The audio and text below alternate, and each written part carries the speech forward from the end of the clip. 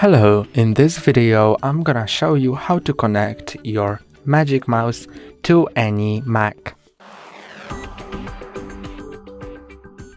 In order for this to connect, you can do it in three different ways.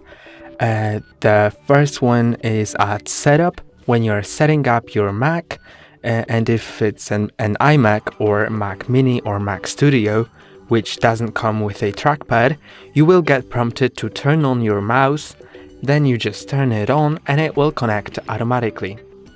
But if you are setting up your MacBook, then you will not get prompted to do that and you'll need to do it later. So uh, the first uh, method is to do it at, at setup if it's a Mac that doesn't come with a trackpad. Uh, the second way is to just uh, make sure that Bluetooth is on here. Um, if you have a trackpad or another mouse, you can just click on it, make sure it's on, then turn on your mouse by switching this switch up.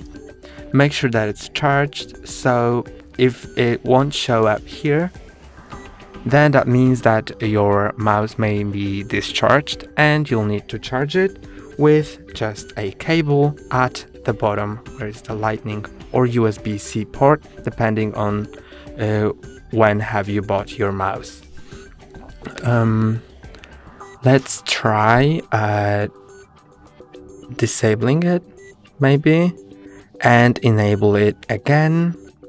If it still doesn't show, go to Bluetooth settings then in nearby devices, you will see the Magic Mouse. Just click on connect. And now the mouse is connected, you can see that I can already use it.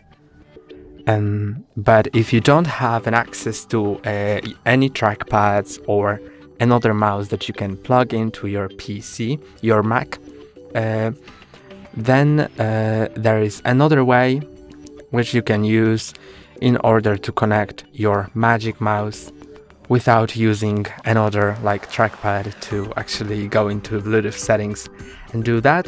So I'm gonna just quickly forget the mouse and try the third option, which is gonna be a cable.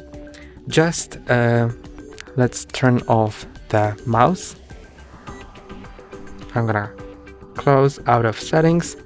And now let's turn it on again. And to connect it just plug it into your computer. So I have a lightning port. You may have a USB-C port in your mouse if it's uh, from 2024 or newer. And now plug it into your computer. I'm gonna connect it right now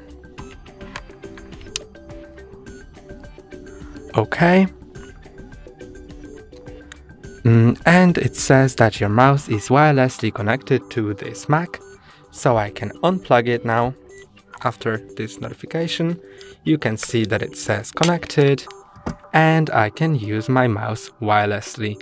That's all for today, don't forget to like and subscribe, see you next time!